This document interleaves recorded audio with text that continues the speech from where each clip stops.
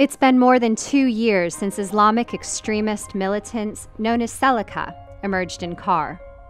Since then, they've succeeded in a coup that's killed thousands of people and left about one third of the country's population in need of aid. The coup has plagued the nation with violence between Seleka rebels and violent vigilante groups called Anti Balaka. La maison brûlée, les greniers et les champs brûlés, euh, c'est vraiment le catastrophe. Les femmes sont beaucoup traumatisées de par ce qui leur arrive. Même si elles ne sont pas violées, elles voient leur mari tué, leur fille violée.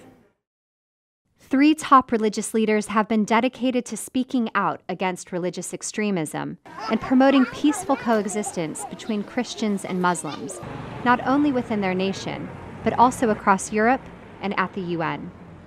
Their message is that violence in CAR is not caused by religion. Instead, they say the root of the conflict lies in the struggle for political power. The president of the Evangelical Alliance, the Catholic Archbishop of Bangui, and the president of the Islamic community are credited with calming down many potentially deadly clashes. Pour arrêter les tueries, arrêter les massacres, arrêter tout ce que nous connaissons dans notre pays et qui met à mal la, le, le vivre ensemble des Centrafricains. Nous ne voulons pas qu'il y ait une guerre civile, une guerre interreligieuse en Centrafrique. Nous ne l'avons jamais connue et nous ne voulons pas la connaître parce que une guerre peut déclencher, mais on ne sait pas quand elle va finir.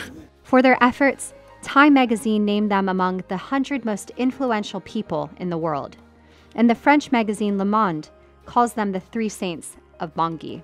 They were also awarded a prize for their peaceful efforts in CAR.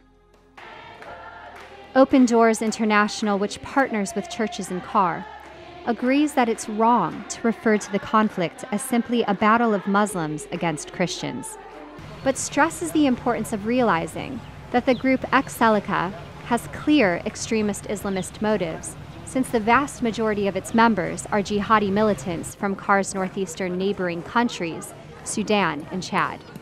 CAR's president is hopeful that the upcoming elections will help bring peace to her country. The elections were set for July, but now have been postponed until October.